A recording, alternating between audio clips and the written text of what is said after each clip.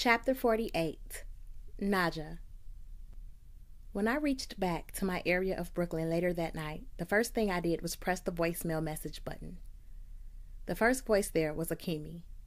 She was soft spoken, expressing musical and very relaxed Japanese so casually, as if I could understand one word. I smiled and imagined I got the gist of her talk. I am still here with you. Everything is as good as could be expected. I'm working hard. I hope to see you soon. She was turning me into a very patient man. Naja was impatient. When I went into her room to check on her, she posted me up. She was awake, sitting in her bed, when she should have been lying down asleep. You missed family day on Sunday. Will you miss it next Sunday too? She asked. I'm sorry, Naja. It was an emergency. I had to go and check on a friend.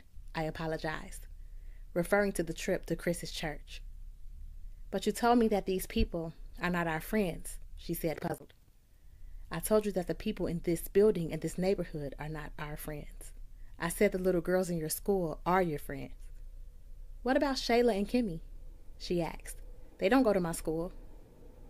Who? The two who were riding my bike with me the other day, she continued. It's hard to tell if they are your friends because you have only played with them once. Besides, you won't really know if they are friends until they get their own bikes. Why? she asked. Because sometimes people pretend to be your friend when you have something that they want to use.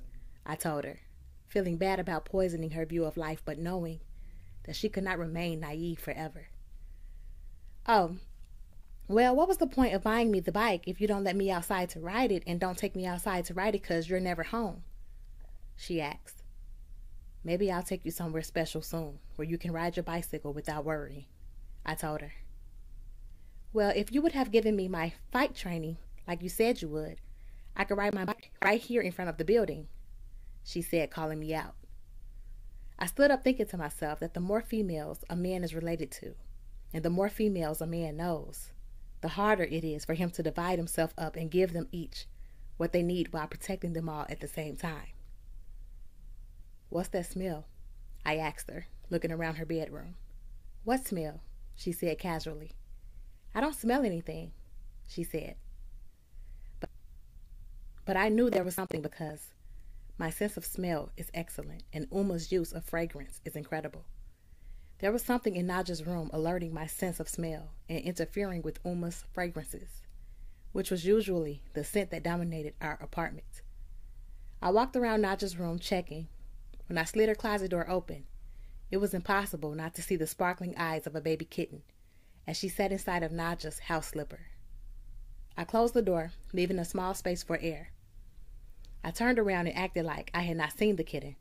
I wanted to see how Naja would handle this situation. Do you keep secrets from your family? I asked her. Do you keep secrets from your family? She turned the question around on me. No, I answered her. Are you sure? She asked. We're not talking about me. We are talking about you, I said. I don't if you don't, she said, speaking too smart for her seven years. Naja, I am your elder brother. It is my job to take care of you. It is not your job to take care of me, so quit playing and tell me your secret before it turns into a lie. I have not lied to you, she said. Have you lied to Uma? I asked. No, she answered. There was just something I did not say. That's not lying, is it? she asked, flashing her innocent and childish grin. It's not lying yet. I'll give you a chance. You can tell me now before your secret turns into a lie, I said calmly. I found the kitten outside. I saw it in the bushes in front of Miss Marcy's window. She likes kittens too, so she let me run outside and get it. I put it in my book bag and now it's in my closet.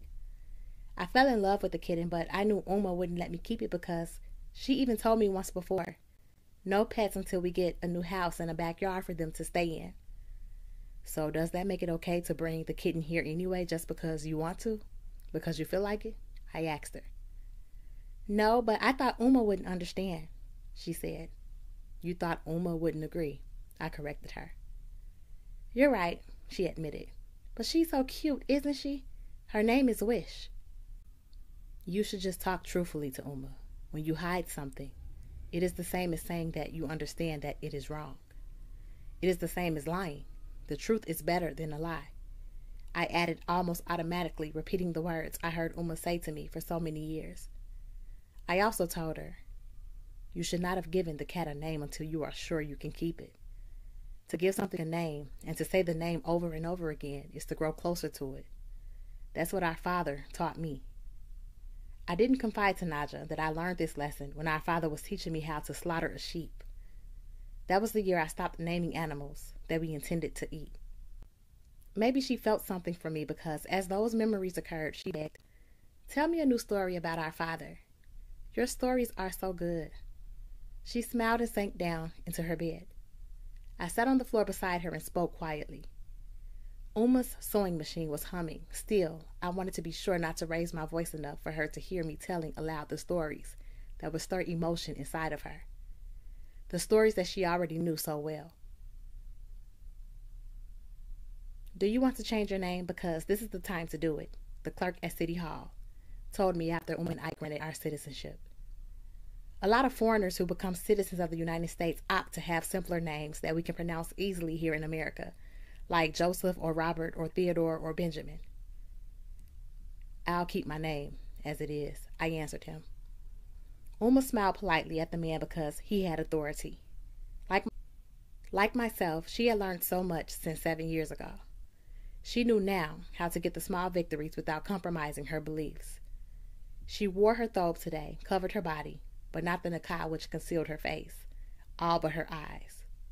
She pretended that she was saying something so nice, but in Arabic she pointed out to me, These people are so arrogant and so ugly.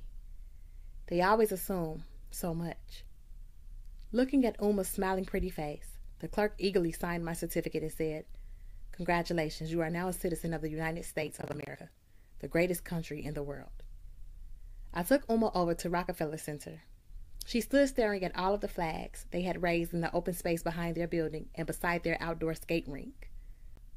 I want to show you where the language courses are, Uma. You can sign up for an Arabic to English class. There will be many students there who are just learning at your same pace from all over North Africa and the Middle East. It will be what's best for business. I tried to convince her, but Uma was still looking up. Uma, what are you doing? I asked her. I looked at every flag three times already. There are so many flags, yet I still don't see the flag of the Sudan, the largest country in Africa, the land of the blacks, she said incredulously. Inside the Rockefeller Center building, I helped Uma to complete her English language course application. We paid the fee and were given the registration and identification cards. Since I could not escort Uma to class on Monday and Wednesday nights because of basketball and martial arts, I signed her up for the weekly early Saturday morning three hour workshop. This way, she could ride in with me when I went to work for Cho. I'm going to bring Akemi here also, I told Uma, for the Japanese to English course. It will be good for her business as well. Inshallah, Uma replied. I dropped Uma at work for the night shift. Since she took the day off to get our citizenship papers, she would have to work from 4 p.m. until midnight. Then I headed back over to pick Naja up. She would have to hang out with me once more. I knew already she would like that, especially since she would be sad about having to get rid of her kitten. Uma had been clear this morning that the timing for a pet was all wrong for our family. Pets shit and urinate and tear things apart. I have expensive cloths and pins and needles lying around. I can't afford to have the kitten cause us any setbacks. If we are blessed to get our new home, then no problem. There will be a place for everything and everything in its place. On the train ride to ball practice, the kitten's head popped out of Naja's book bag. She would rub her nose against the kitten's nose and cover its face with her kisses. We have to set her free before we pick Uma up from work tonight, I explained to my little sister. You seem to keep getting closer to this kitten. It's going to make it real hard on you when you two separate, I cautioned her. I have seven hours left. She smiled and placed her face beside the kitten's. Saturday night's game is a real one, not a scrimmage. So let's pick up the pace. No home court advantage this time around. We'll have to roll on Brownsville hard and strong. Be prepared to move in, handle our business, and move out. And no partying or celebrating over there when we take it from those boys. You all know what happened last week. The league can't afford for a player to get shot after every game, Vega said, referring to some kid who the cops clapped the night after our first win, which I thought really couldn't be blamed on the league. Yo, coach, I hope when we win, we ain't got to go out with you again. My girl is complaining that you're taking up all my time, Brad said. The team laughed in agreement. Come on, who else is going to take y'all to see the best movie ever made in the history of film besides me? I bought you ungrateful crybabies popcorn and soda, Vega defended. I'm not gonna lie, that was a fucked up movie theater you took us to, but I hear you because you got the discount. And Tony Montana, he's a motherfucking man, the player named Machete said. But he didn't win at the end, Bryce said. That don't matter, Panama said. He had so much fucking style when he was doing it. A good 10, 15 year run on top of the world. Guns, paper, mansions, whips, bitches. I'll take it all. Word up, Mateo said. I just watched and listened. I missed the Scarface movie the team went to see that night. Yet, what they were saying hung in my head like a riddle. Is it better to have all the best things in a short life or live average until you're 70 or 80 years old? What's the value of life? I thought to myself. That's an assignment for you, Vega said, pointing me out. Have you seen the Scarface movie? He asked me. Nah, I answered. Well, catch up. Go and check it out, Vega said. He glanced in the mirror where the bleachers were, where my little sister Naja sat waiting. But don't take your little sister. It's no good for her, he said sincerely. I was skeptical about playing ball with the league and these guys in the beginning. As I looked around the room now, there was Panama, Machete, Brass, Mateo, Jaguar, and the rest. We were all players who originated from some other country outside of the United States. I wondered if it was set up that way intentionally. I wondered if the reason we all got along so well was because we weren't like the Americans. I thought about Amir and the crazy ass red team. I wondered if they was all fucked up because they was all African Americans. They all hated each other and couldn't do anything united, not even play ball. Even their African American coach was a fuck up who didn't show from time to time. After practice, I saw her walking up, still moving swiftly, even with the extra weight in her hands. The team was just letting out, so they all saw her coming too. So did Naja. Bangs came up quietly and sat on the wall with her daughter silently, giving me a chance to play her off and keep on walking past, if that's what I wanted to do. I walked over and sat on the wall beside her instead. Bangs, this is my sister Naja. I introduced them. Bangs, what does that mean? Naja asked. Ask your brother. He gave me that name, she said, blushing, her pretty dimples showing up for every smile. You gave her a name? Naja repeated, shocked. Then you must be close to her. You said don't give something a name because you'll grow closer to it, right? Naja asked me. I was talking about your kitten, I said calmly, trying to move her on to the next topic. Oh, I love cats. Can I see it? Bangs asked. If you let me see your baby, I'll let you see my kitten, Naja said. Then they traded. Put your arm up like this so the baby's head won't fall back. I demonstrated for Naja. Is that what you do when you hold the baby? Naja asked me. That's what I did when I held you, I answered. Did you give this baby her name too? Naja pushed. No, I didn't. I said, trying to remain cool. Meanwhile, Bangs was caught up with the kitten. Who did? Naja asked. I named her, Bangs answered, finally realizing she was dealing with a clever speaking little girl who was very protective over her big brother. So, how long have you known my brother? Naja asked her. You don't have to answer that, I told Bangs. About a month and a half or so, she answered.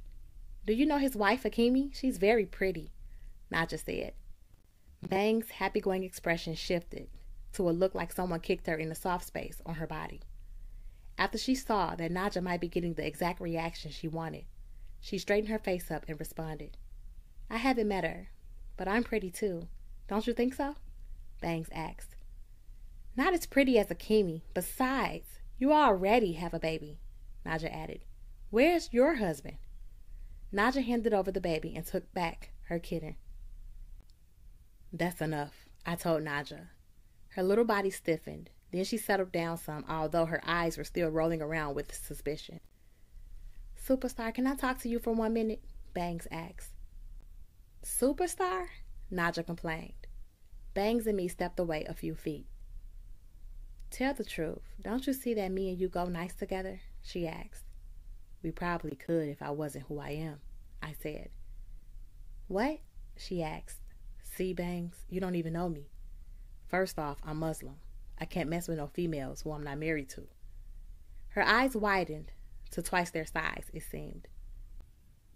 I knew some Muslim guys, and they wasn't like that, she said. They weren't serious, I said. So what are you saying then? she asked stupidly. I'm not supposed to even be chilling with you like how we were. I mean, you asked me to tell the truth, right? Look at you. Your body is crazy. How long do you think we could sit around each other and not end up wrapped up into something heavy? And once I went into you, why would I ever stop? And how could that be fair to you when I know better? I don't see nothing wrong in it, she said. That's one of the problems, too. You don't see nothing wrong with it. And whose pants were thrown across the mattress upstairs in your house? I asked. She was caught off guard. She paused. They must have been my uncles, she said. You told me there were only females living in the whole house you, Granny, and the baby, I reminded her. He doesn't live there, he just shows up sometimes. What about the condom? I asked her. What condom? She was playing dumb. The ones that were missing from your box and lying next to the pants and the bottle of wild Irish rose. I pushed. She gasped like she was caught in something. He must have snuck and did something with somebody up there. He took the condom out my box. He's always taking something without asking, she said. It sounded true. You see, Bangs, I can't do none of this with you. I'd end up killing somebody. She stepped in close to my body. Instead of getting turned off, she was getting turned on, and her nipples were poking through her bra and her t shirt. Suddenly, there was a moist spot spreading. Her milk was leaking. I gotta go, I said. Please walk me home, she asked. By now, she caught on that I thought that was the right thing to do walk a female home to safety. Come on, Naja, let's go, I said. Where are we going? Naja asked. We're going to walk Bangs home, and then we'll go and meet Uma. You know where she lives? Naja started up again. Yes, I do, I answered her. Did you tell Uma about her? Naja asked. No, I didn't, I answered her. Oh, you lied then, Naja said. I didn't lie, I just did not mention it. I defended myself. Well, you better hurry up and tell Uma before your secret becomes a lie. The truth is better than a lie every time, she reminded me. I saw his dark shadow cast on the stoop in front of Bang's house. She saw it too. Her entire face changed. There go his stupid ass again, she said. Why don't he go back to his house? As we approached the stoop, Naja asked Bangs, Who's he? He's nobody, she said to Naja. He's not your father? Naja questioned. Nope, he's my uncle. He's my mother's brother. All right, later, I told her when we reached her steps. Good night, Uncle Nobody. Good night, baby, Naja said for anyone to hear. Bangs walked past her uncle without speaking and entered her home. I took Naja's hand in mine and picked up our pace to the train station. When we got seated, I asked her, Why did you act that way towards Bangs? Because I like Akemi, she answered. Just because you like Akemi, do you have to make Bangs feel bad? Why should she feel bad? What does she want from you anyway? Naja asked. No female likes to be told that another female looks better than her, I said. You're confusing me, my little sister said. Last night I got in trouble for telling a lie. Tonight I am getting in trouble for telling the truth. Would you rather I did not say anything? She asked without one bit of sarcasm. And you said if I hide something, it's because I know it's wrong. Will we tell Uma about my kitten and the girl and her baby? She asked with innocence. Yes, we will tell Uma everything. It's the right thing to do. I felt forced to represent the truth. When we met up with Uma, my sister immediately revealed that she still had the kitten. Tired, Uma said, The kitten can stay closed in your bedroom for one more night. In the morning, I'll ask your brother to do something with it. Naja was excited and really disappointed at the same time. Later that night, I thought about how Naja did not say one word to Uma about meeting Bangs or the baby. She looked out for me and held it in, even though things did not turn out the way she wanted them to with the kitten. I appreciated her. I realized she really only wanted to accomplish one thing by acting up in front of Bangs. She wanted to keep her brother away from a situation she knew our mother would not approve of. A situation she felt, even in her young age, was also not right for me.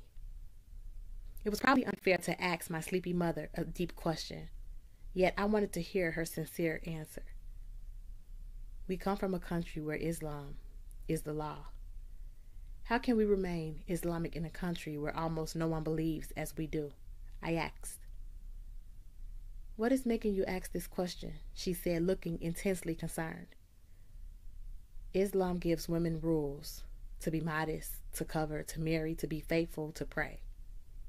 I'm surrounded by females who don't do any of that, and they keep coming at me all day, all night long, I confessed. They are all a test of your faith, she said. Many of them will come, but they are not what is best for you. Me, your sister, our family, your children to come, inshallah. You have chosen a wife. Never trade her for a lesser thing, Uma said with a certainty. I wouldn't think of trading Akemi, I assured Uma. But why would anyone want to give a young man such a difficult test of faith? I asked sincerely. Allah is above comprehension, she answered. Allah is the best knower of all things. In my room, I sorted out my thoughts and feelings. I decided I owed it to Bangs to do something special for her. She really looked out for me on the night that the cops were head hunting. For two days, she held on to my gun. And as far as I can see, she didn't fuck with it. Her waiting for me by her window when she heard the police siren saved me from what could have been a completely different outcome. I couldn't front on any of those facts. Still, I couldn't give her what she really wanted either without fronting on my beliefs, my family, and my wife. But I could give her something that I thought she needed. Afterwards, I would break it off with her. I already knew from the way I acted at the party that night and what I saw and felt in her bedroom that the temptation towards her was too great. The pussy was too easy. The pussy was probably so good, but good pussy is not enough, and her pussy is not mine. For Naja, I used my charm on Miss Marcy. It wasn't difficult to convince her to agree to keep the kitten at her place, since I agreed to pay for the cat food, supplies, and maintenance. Miss Marcy had no one else living in her apartment, which is the only reason we allowed and paid her to care for Naja. Aside from the money, she was very attached to Naja, and Naja was very attached to the kitten. So it worked out.